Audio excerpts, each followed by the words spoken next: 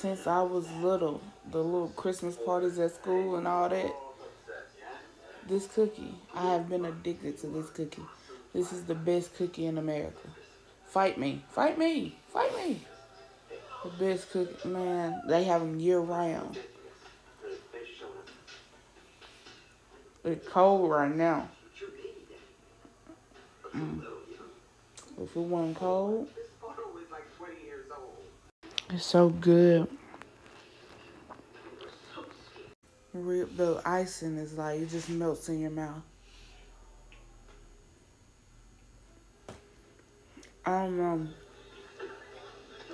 Since I was little, I don't even like sugar cookies.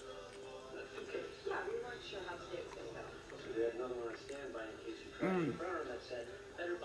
20 plus years. Me and this cookie. It'll always be us.